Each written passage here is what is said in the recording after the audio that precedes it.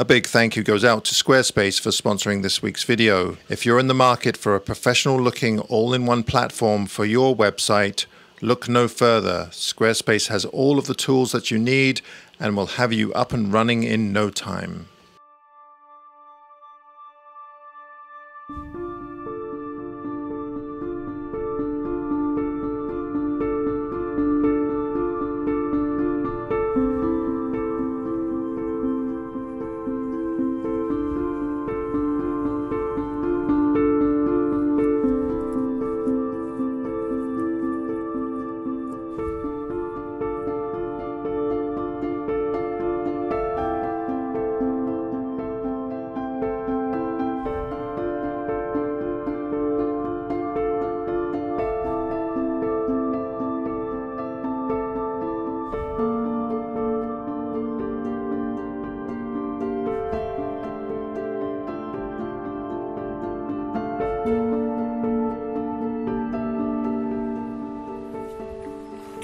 So we're in uh, Carmanah Provincial Park again, uh, proper, just heading down. There's a quite a steep uh, trail that goes down to the, the valley bottom, and there's a, a river down here, and this is where the, all the old growth trees are.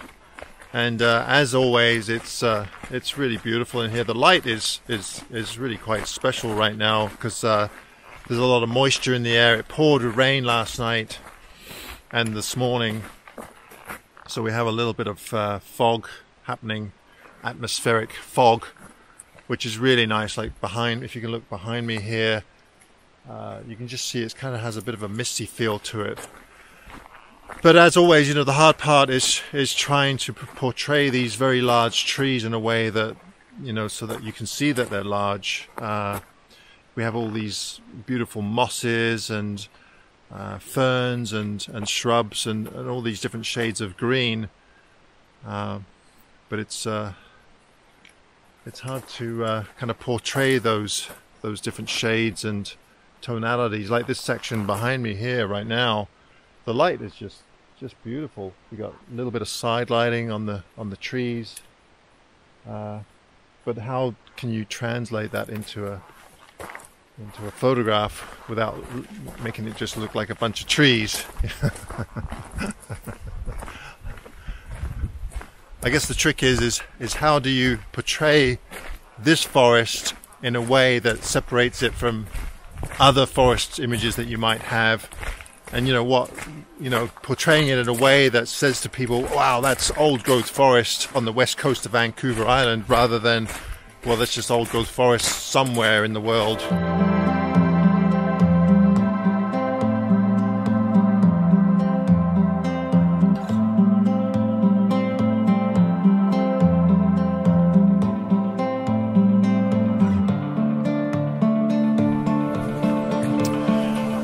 Okay, so since we've been hiking down, like last time we were here, we kind of went to the uh, the west, I believe it is, or the south, and now this time we're hiking to the north side of the park. And uh, the light is really uh, as i said it's, it's, really beautiful right now but the sun is trying to come out so i'm not sure how much time we're going to have before the sun gets too harsh but this this is the kind of light that i really like for forest photography you get that really light overcast so you're not getting direct sunlight but you get nice soft light and uh, because there's still a little bit, bit of um, direct light coming through, uh, it creates nice textures and shadows. If it's too dark, then I just find that there's very little difference between the shadows and the highlights, uh, if that makes sense. Like, as an example, um, the trees behind me here, I don't know if you can see this, there's a, sorry, there's a, a big Sitka spruce, uh, I think it's this, this one here you can see that it has um, really nice shading uh, depth to it, even though the light is uh, overcast. And of course, it, it, keeps changing. Like every now and then, it'll it'll it'll feel like it gets darker and then it gets brighter. So I'm guessing that the clouds are moving through. I was hoping for uh, some fog in the valley here, but as usual, uh, every time we come here, there's fog up high. But as soon as you get into the dense forest here, um, it, you don't get very much fog at all. I'm sure it happens every now and then, but uh, Yeah, not today, I don't think. There is a river down here, so that might be affecting the uh, the fog. Okay, so one of the things that I really love about uh, photographing in the forest here is all the, the green ferns, the different types of ferns. We have deer fern, and then we have uh, sword ferns, bracken ferns. Uh, what I really like uh, about this scene here, we have this wonderful fern growing at the base of this tree here.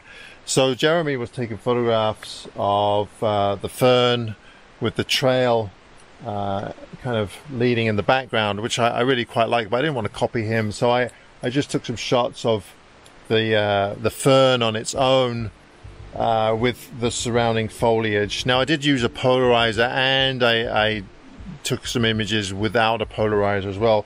To be honest with you, I really like uh, the sheen on a, a lot of foliage. It, I know to my eye it gives it a lot of depth, but uh, usually the case is, you know, I, I, get the images back and I usually prefer the ones where I've used the polarizer. It just really saturates the colors nicely and gets rid of some of that unwanted sheen. Uh, but sometimes I, I don't know, I, I, really like it. Like the sword ferns down here on the, uh, down at the base here. Uh, they have a, such a beautiful sheen to them, gives them dimension and shape. Uh, anyway, I took the shot. Um, I'm not sure if it'll work. It was just a, you know, it's just a, a nice study of green against green.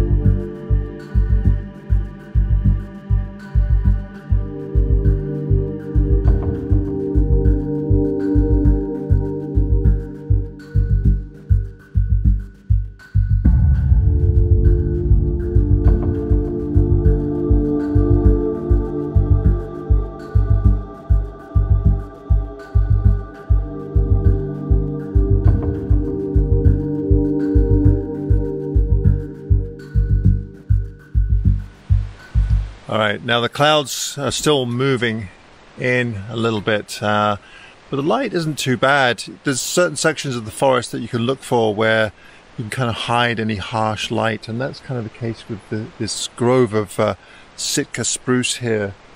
Uh, this is a really great uh, situation because we have four or five uh, Sitka, and you can kind of line them up so that you don't get any harsh light in the background and they have some nice sword ferns in in the uh, at the base of them. So it gives the trees a little bit of scale.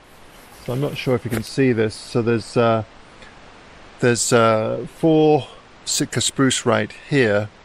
And then in the background line it up here about here there's actually uh, a huge Sitka spruce that's that's died but it's got a lot of fungi growing up the up the the old trunk there so you can really kind of just fill the frame with all trees, different uh, textures of trees and, and, slightly different colors. The ones in the in the foreground they have quite a bit of moss on them, so quite green, and then there's um, some more browner tones or golden tones in the background, which is quite nice. But uh, yeah, the light is actually pretty good right now. So I'm gonna get set up here. I've taken some over the side here and Jeremy was taking some right here. I'm going to see if I can get something similar. I um, if I go down low, then I get rid of some of the ferns in the in the background. I just want it to be kind of a, a, a pattern of trees, and then a hint of the uh, of the ferns in the in the foreground. Keep it really simple. Uh, that seems to be the order of the day.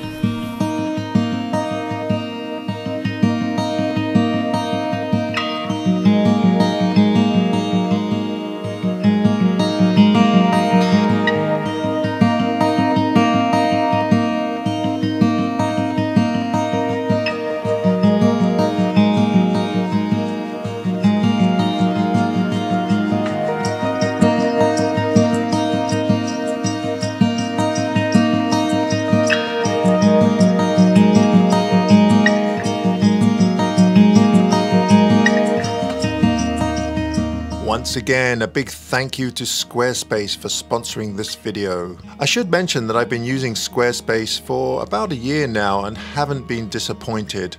I find the website templates attractive and professional looking. Squarespace also offers a plethora of options that are intuitive to use, especially for old crusty photographers like me who don't have a clue about coding or setting up a website. So, if you're in the market for a website that will showcase your photographic masterpieces in an elegant and functional way, then you should really check out Squarespace. Go to squarespace.com for a free trial, and if you like what you find, go to squarespace.com forward slash Adam Gibbs for 10% off your first purchase. That's right, squarespace.com forward slash Adam Gibbs for 10% off your first purchase.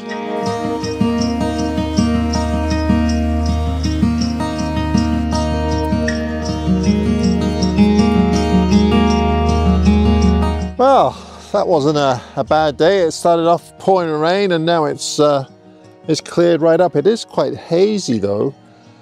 Uh, so I took a, took a couple of images, uh, not, a, not an awful lot. We spent a lot of time hanging around in that one area just waiting for the light, but it was a really pleasant uh, place to hang out. So we've come to our little campground here and uh, you really check this campground out. It's uh, absolutely spectacular. I've been here a few times now. So here's uh, the camper van and then we've gone right to the end of the road. So this is kind of the backdrop to our, uh, our location spectacular. So this whole area here is coastline and uh, that's the, uh, the West Coast Trail. So you get a pretty good panoramic view of the whole scene. Uh, this is all cut block, so it's been logged, but over in that section over there, it hasn't been logged. That's all part of the Pacific Rim uh, National Park. So uh, there's quite a bit of old growth forests left in there. But uh, yeah, it's really spectacular. So I think if the sun goes down, we might get a bit of color. Uh, these layers of hillsides with the uh, the trees on might be really nice with a long telephoto. The only problem is, is that uh, I forgot my long telephoto, so I'm just gonna have to watch Jeremy take images with his uh, with his Canon. Yeah.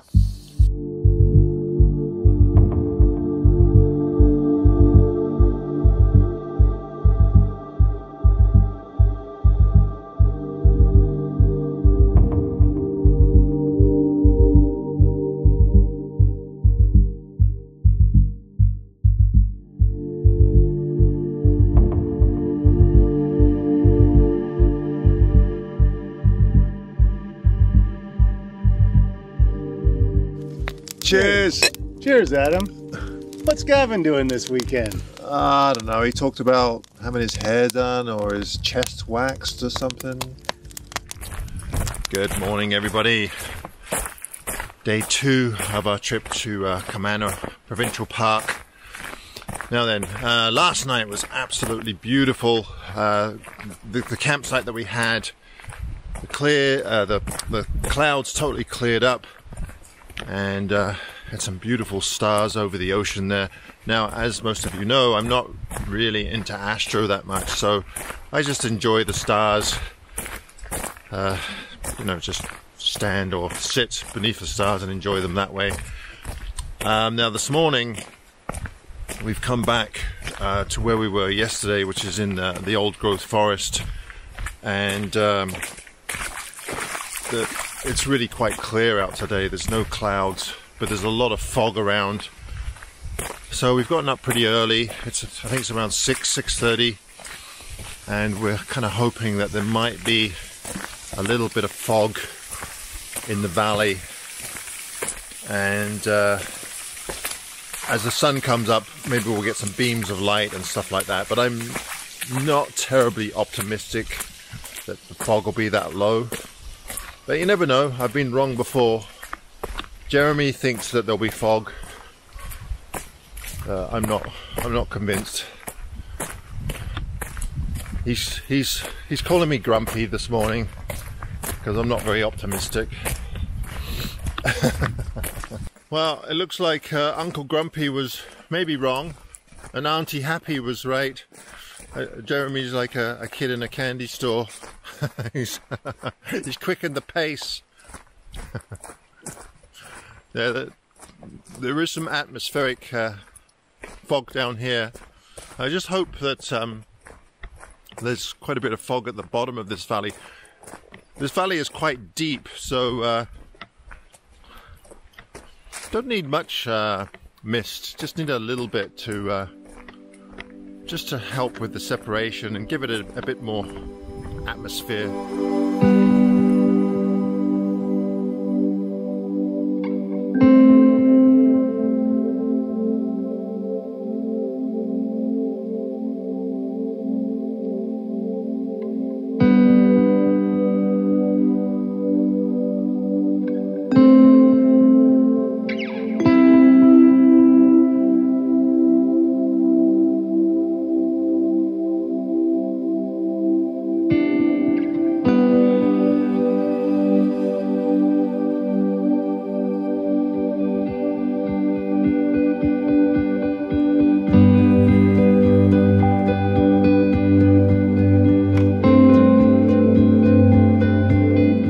So we got down to the valley floor and unfortunately we didn't quite get the fog that we wanted. The problem with this area is that uh, it's really dense forest, so it's it's really hard for the fog to, to penetrate. Now there is a, uh, a river right just beyond the, this uh, fringe of forest here, and you can see there's quite a bit of fog back there. So the light is reasonably soft, the light is just coming over the mountains in the background here. So there's beautiful backlighting in here, but you gotta be careful because the highlights are so much brighter than the, uh, the shadows. So what I'm doing is exposing for the brightest uh, spots of the trees and then everything else will be really dark shadow. And then I'm also taking a few shots uh, for the shadows just in case I need to combine them later on in, in Photoshop. Oh, I guess you could do it in Lightroom too. You could just combine them into a, a, a high dynamic range image and then fiddle with them that way. I mean, to the eyes, it looks stunning, but you know, it's, uh, it's a little tricky. The light's a little tricky. Now looking this way, if I turn around here, um, the light, I mean, it, it, looks beautiful to the eyes, but there's just so many different areas where there's highlights and shadows that uh, I think it would be too busy. So I find that if I'm photographing forests and uh, there is direct sunlight, then I usually try to get some backlighting. Seems to work. It's the most dramatic and it just looks so, so nice, but it doesn't last very long. I think our time here is almost up, unless we can find an area where there's a lot more uh, fog to kind of subdue that light, then uh, like I'm looking down, down here and there's really thick fog right along the river there, so maybe we can walk out to the, the river and find something out there. Or maybe even some kind of beams of light coming through the forest.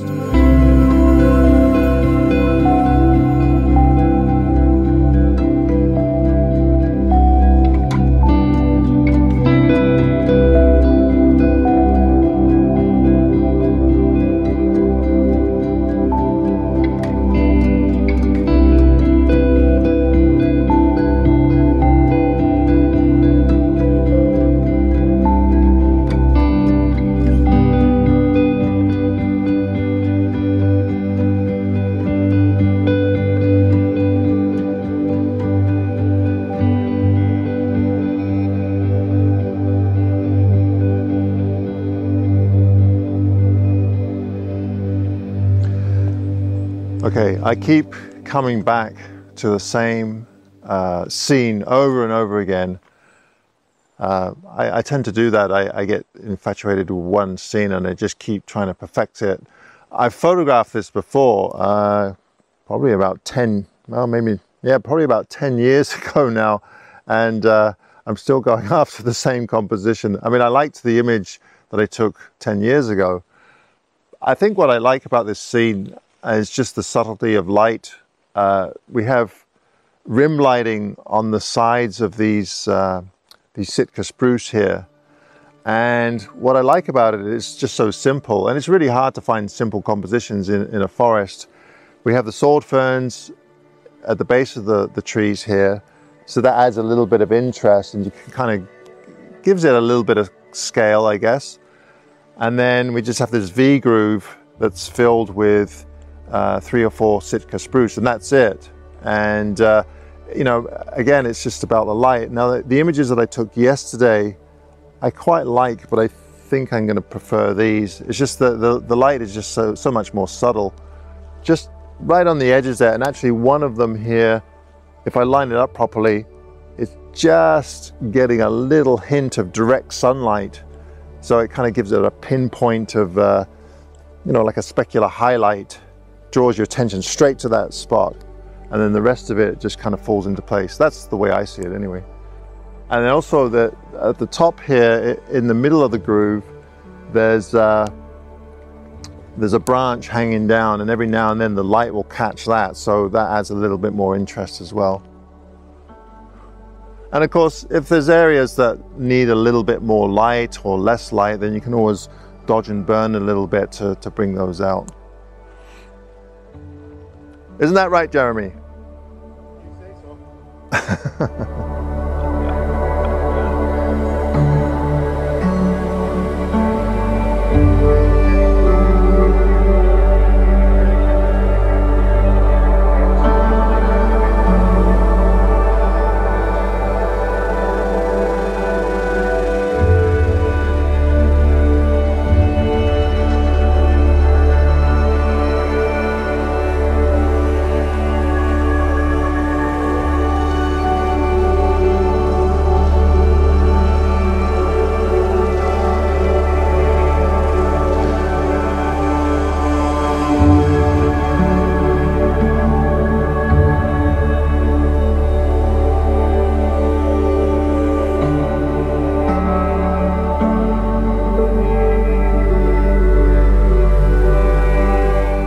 folks, thanks ever so much for watching this week's video. It was certainly a very long one.